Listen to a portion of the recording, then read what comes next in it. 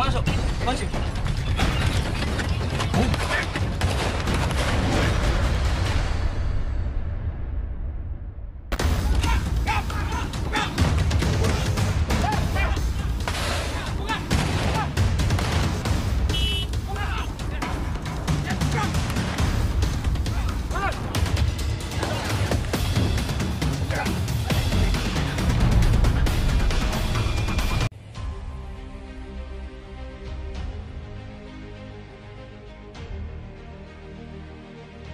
Jenderal Listio Sigit semakin yakin Pegi Cianjur sosok asli pelaku kasus Vina.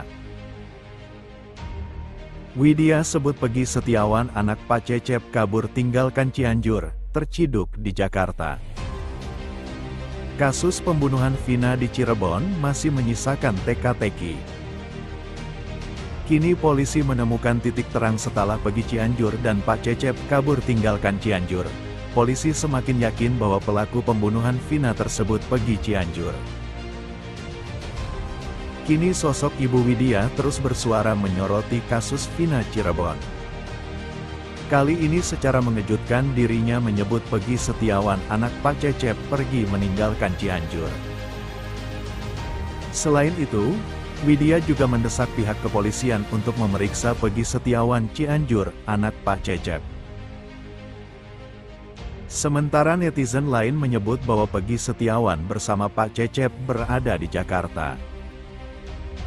Widya sebelumnya juga membandingkan penetapan tersangka Pegi Setiawan alias Prong dengan Pegi Setiawan anak Pak Cecep.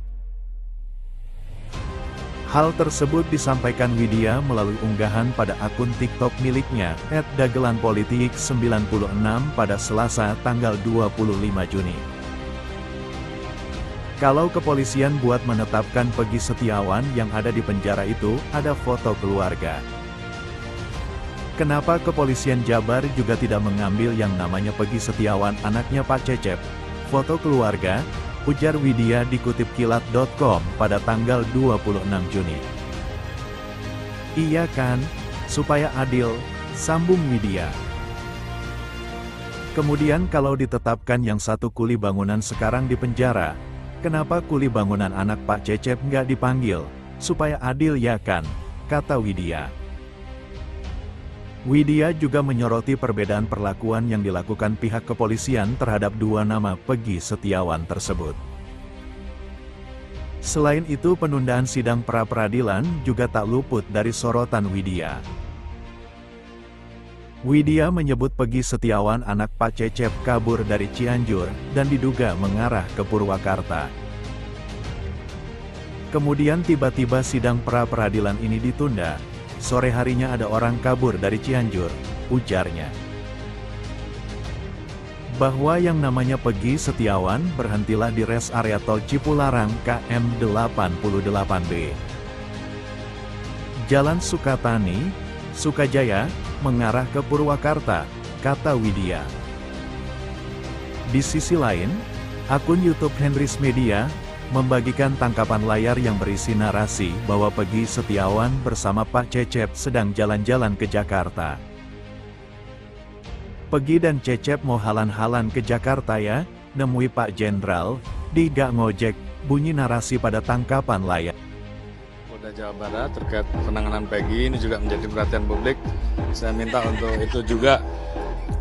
Apabila memang betul diproses maka alat buktinya harus cukup dan tentunya akan lebih baik apabila semuanya dilengkapi dengan uh, scientific crime investigation. Artinya uh, itu adalah bukti yang tidak terbantahkan. Namun demikian tentunya ada alat-alat bukti barang bukti lain yang juga tentunya diatur dalam kuhab yang uh, harus dilengkapi oleh rekan-rekan saya kira uh, kami minta agar kasus tersebut betul-betul ditangani secara tuntas, profesional, transparan karena ini menjadi menjadi perhatian publik. Pra peradilan berjalan, tapi polisi juga sangat gencar untuk melengkapi dan melimpahkan berkas ke Kejati. Bagaimana nih posisi hukumnya? Saya mau ke Bang Jamin terlebih dahulu untuk kondisi yang seperti ini saling berkejaran. Ya, sebenarnya kita harus menghormati ya hmm. setiap proses uh, hukum yang sedang berjalan termasuk proses pra peradilan. Ya. Tetapi dengan adanya uh, keterangan dari kejaksaan tadi yang menyatakan bahwa unsur uh, pembunuhannya tidak terpenuhi dengan bukti yang disampaikan, ini sebagai bentuk informasi juga ataupun keterangan di luar pengadilan yang bisa dicerna oleh hakim tunggal nantinya gitu. Bahwasanya sebenarnya memang nggak punya bukti yang cukup. Nah, sebenarnya begini, kepolisian itu kalau merasa tidak cukup dan mereka lalai atau mereka gagal atau mereka tidak mampu untuk menyatakan yang namanya Peggy Setiawan di, dialah pembunuhnya, bisa aja SP3 nggak apa-apa. Bisa aja salah kan kita. Nah kalau dia salah berarti Tapi ada kan polisi nggak mungkin akan mengakui kalau salah. Itu kan ter- marwah organisasi, Oh marwah iya, institusi, iya, Bang. tapi kan bisa saja dilakukan tuh. Carilah Peggy yang Setiawan yang benar-benar pelakunya kan bisa dicari begitu. Di mana dia sebenarnya? Kalau memang bukan ini, jadi masyarakat juga nggak bingung. Loh kok sebenarnya Peggy Setiawannya yang mana sih ini begitu? Apakah ada Peggy Setiawan lain selain Peggy Setiawan yang Oke. ini begitu? Nah Mas itu yang harus sebenarnya dicari Kalau saya begitu. tangkap Bang Jamin sangat yakin kalau polisi yang lalai, nggak nggak kuat dengan buktinya. Bagaimana Kompolnas melihat kondisi seperti ini nih? Itulah tugas Kompolnas memastikan bahwa tidak ada kelalaian, tidak ada ketidakprofesionalan. Maka kami ketika kami minta klarifikasi itu, kami itu menempatkan diri seperti Kang Tony ini. Kita bongkar nih semua. Apa yang membuktikan Peggy alias Perong yang disebut di dalam berkas pengadilan putusan ini, inilah orangnya. Itu kita tanyakan semua detail. Bisa disiram sama kita nggak malam ini? Apa katanya yang membuktikan? Ya sek- dugaan kami yang untuk dipastikan nama Peggy itu kan banyak di profiling. Dia harus bisa memastikan alias perongnya.